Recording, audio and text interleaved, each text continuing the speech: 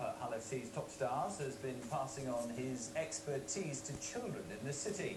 England player Tom Briscoe was at Hull's half-term training camp giving tips to potential stars of the future. Their dreams are crystal clear. These youngsters want to emulate their heroes and star for Hull. Today, the Sirius Academy is their KC stadium. Watching their every move is Hull player Tom Briscoe and teammate Eamon O'Carroll. Tom's words are listened to intently. Put your body weight in field, so if anybody comes There he is.